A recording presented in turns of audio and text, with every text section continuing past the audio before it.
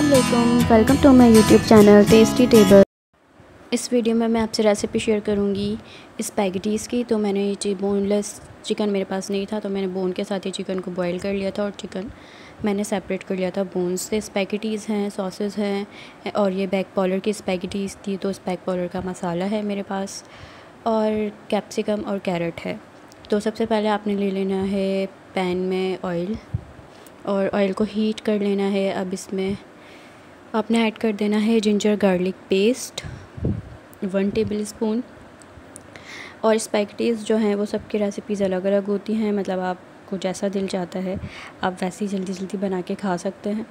तो ये बैक पॉलर की थी तो मैं इसमें बैक पॉलर का ही मसाला यूज़ करके और ये पहली बार ट्राई करने लगी हूँ और मैं आपको बताऊँगी कि ये कैसा बनता है।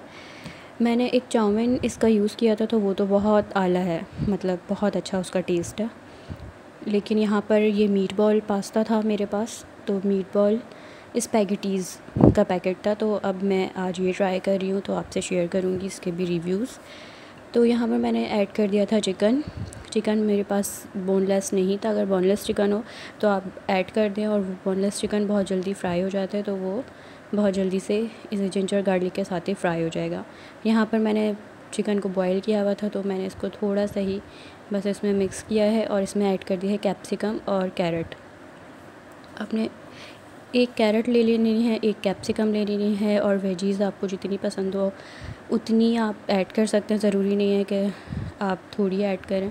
यहाँ पर मैंने इसमें ऐड कर दिया था सॉल्ट और आपने इसमें थोड़ा सा ऐड कर देना है चाइनीज़ सॉल्ट और अब मैं यहाँ इसमें ऐड कर रही हूँ ब्लैक सोया सॉस आपने इसमें ऐड करना है two table two tablespoon आपने इसमें ऐड करना है विनीगर और फोर टेबल स्पून आपने इसमें ऐड करना है चिली सॉस चिली सॉस थोड़ा आपने ज़्यादा ही ऐड करना होता है क्योंकि उससे, उसका जो टेस्ट होता है ना, वो बहुत अच्छा लगता है। मुझे बहुत अच्छा लगता है, बाकी आपको अगर पसंद है तो आप जितना वो आप ऐड कर सकते हैं।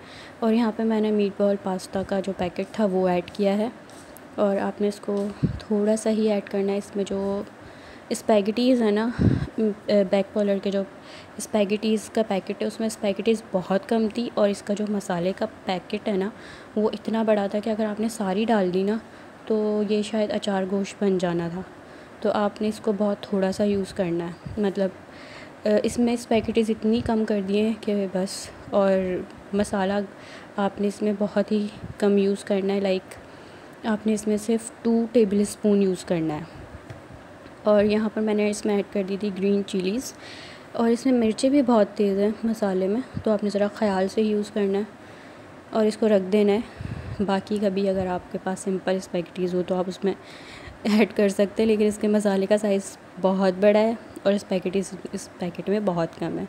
तो यहाँ पर मैंने इसमें ऐड कर दी थी स्पैगेटीज़ और इसको आपने अब सिंपली कर लेना है मिक्स अच्छा सा मिक्स करने के बाद स्पैगेटीज़ जो है वो बिल्कुल रेडी हो जाएँगी।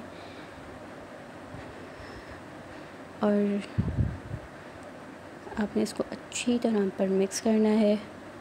और अब मैंने इसमें ऐड कर दी है ब्लैक पेपर। ब्लैक पेपर आप हमेशा ना ऊपर से ऐड करें। अगर आप पास्ता बना रहे हैं, स्पैगेटीज़ बना रहे हैं, जो भी बना रहे हैं ना, आप ऊपर से बस आपने मिक्स करने के बाद ऐड कर देंगे। बहुत ज़्यादा ब्लैक पेपर जो होती है ना, वो पकाई नहीं जाती। लाइक अगर आप साबित ब्लैक पेपर बिरयानी या कुछ बना रहे हैं तो आप उसमें जब साबित गर्म मसाला डालते हैं, वो अलग बात है। लेकिन ये जो आप पिसी हुई ब्लैक पेपर होती है ना, इसको आप ज़्यादा नहीं पकाती। कलर भी ख़राब करती है और इसका टेस्ट भी इतना अच्छा नहीं आता तो आपने ये सिर्फ़ ऊपर से ऐड करनी होती है तो मैंने इसमें half tablespoon black pepper add की थी।